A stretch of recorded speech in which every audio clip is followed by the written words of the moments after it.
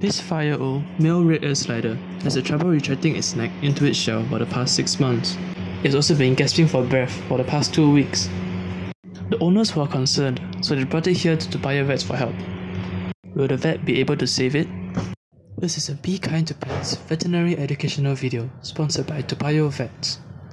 Today is 19 September 2018. It's a, it's a Wednesday.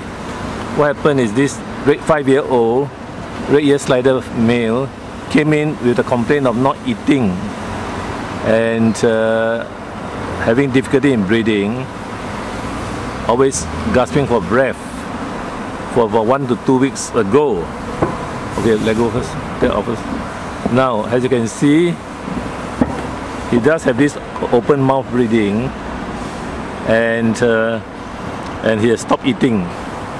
Now, it's a, the slider had been sick for six six months. Now the main complaint was he couldn't retract his neck, which he could do it normally. So the neck doesn't go in, go inside the the shell. You push in. Normally, you can go in. Yeah. According to the owner. Yeah, can you go further in?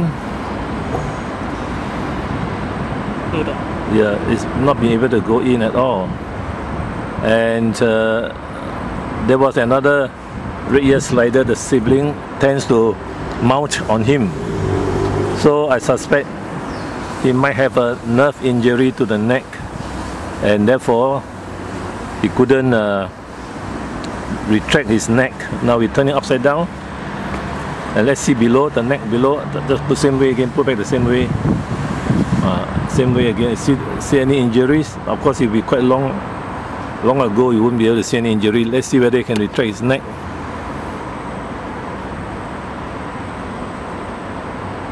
Well, press and see.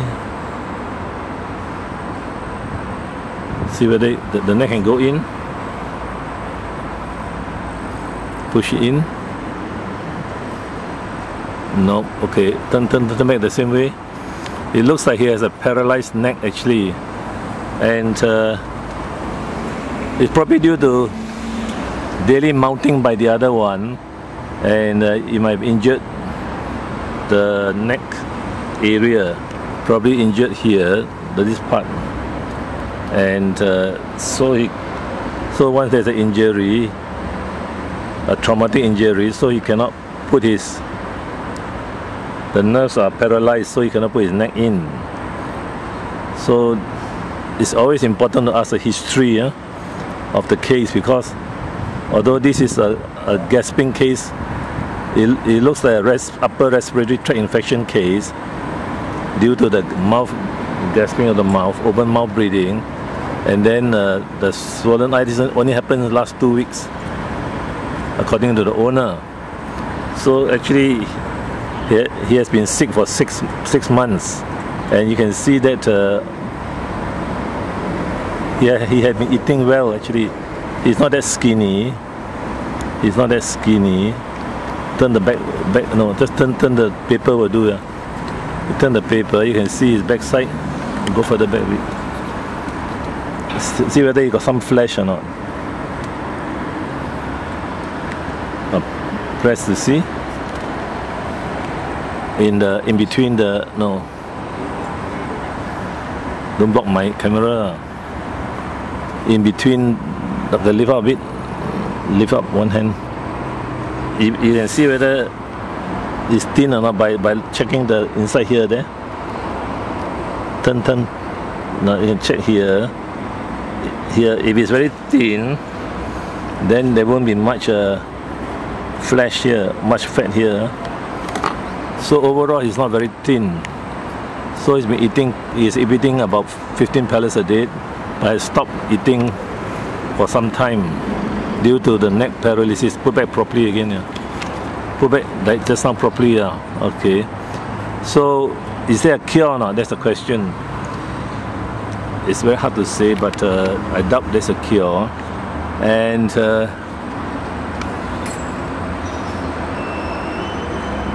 the treatment will be supportive treatment, syringe feeding, antibiotics, and uh, if possible, we can massage the neck, but it's too long. It's been too long. normally they will bite you if you touch them. Uh, there seems to be some swelling here. Probably they might have injured the blood vessel when when uh, the other sibling mounted on him. Every day something sharp from the from the shell of the other sibling could have damaged the vertebra. So with, with neck paralysis, he, he developed upper respiratory tract infection and uh, now he's really in a bad shape. Now we see whether he can move or not. Pull his, pull his leg out and see. Both legs. Pull some more. Extend the leg. Extend some more. See, it doesn't really attempt to bite anybody. Okay, let's see the turn upside down again. See the shells. Now you can see it's not not very thin, not very thin. Although he lost eight grams, now it's day three. He cannot turn upright by himself. Okay, go back again. Facing me again. So this is the situation now, day three of treatment. So we give orally antibiotics, anti-painkillers, and uh, vitamins and critical care feeding to see whether you can reverse the paralysis or not, which is here actually the neck is paralyzed.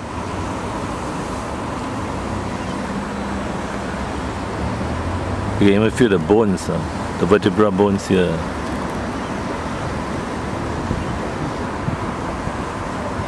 So this is one of the few cases of paralysis of the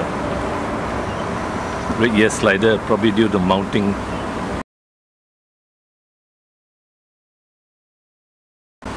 Now you look at the other one there's another one coming in. It's hatchling. You can take it out here.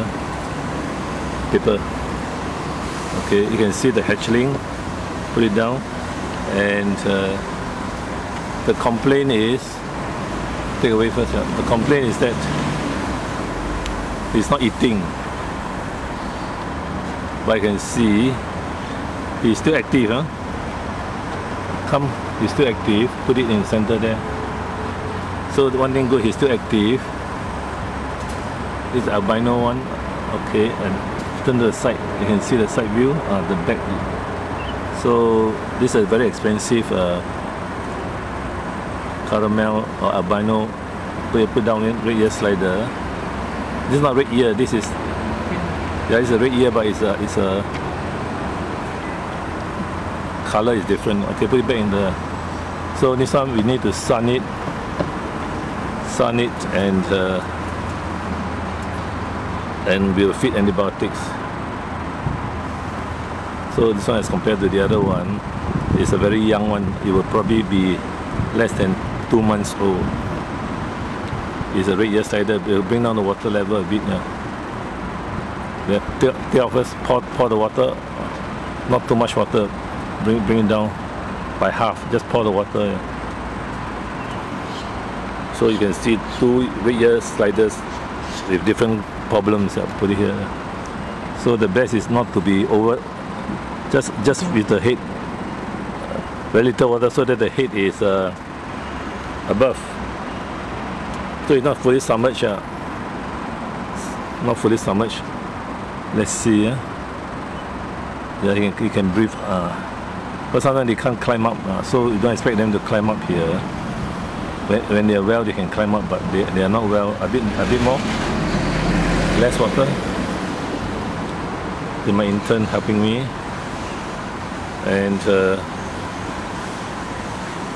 just a bit. Uh, just enough for the for the slider to breathe so that it doesn't submerge entirely then we put the pellets in and cover up as well where's the cover yeah, okay give some sunlight for one hour he it by himself or not put under the sun for an hour then we bring in give all the the medication that is needed. Then let him swallow, let him drink water for a while, and then take it out from the water. Yeah. So after four hours, you can put again, see whether he will drink or eat, then take out. Then at night also. Okay. Right now he needs the warm, and no need to put uh, on the water for 24 hours. Okay. So uh, this one is the critical care. Just now uh, I prepare for him. So like this uh, paste he. Uh. So we mix one teaspoon of the critical care with four teaspoons of water, and then we also add the NutriPack inside already. Yes. So you open the cap, and then you put the food inside.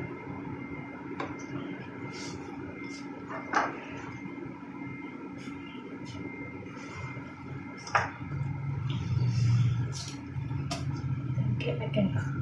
So the food is inside the syringe already, but this one is too big for him to swallow. So you need to transfer into the small swing jacket. So open, push, okay.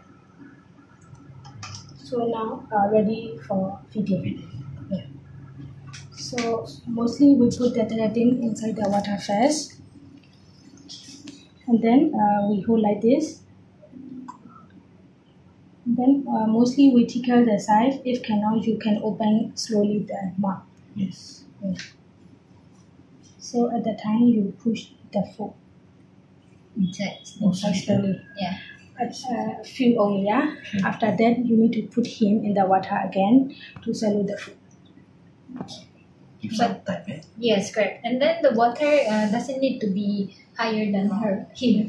Yeah. So just enough for him to drink. No need to be uh, higher than the yes, correct.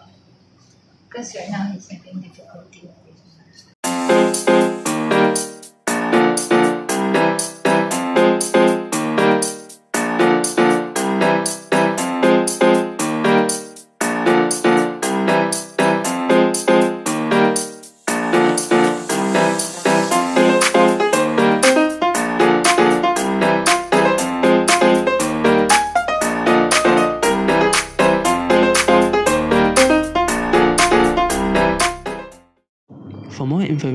Forward your queries to the following numbers or email, or visit the website at tpvets.com. Thank you.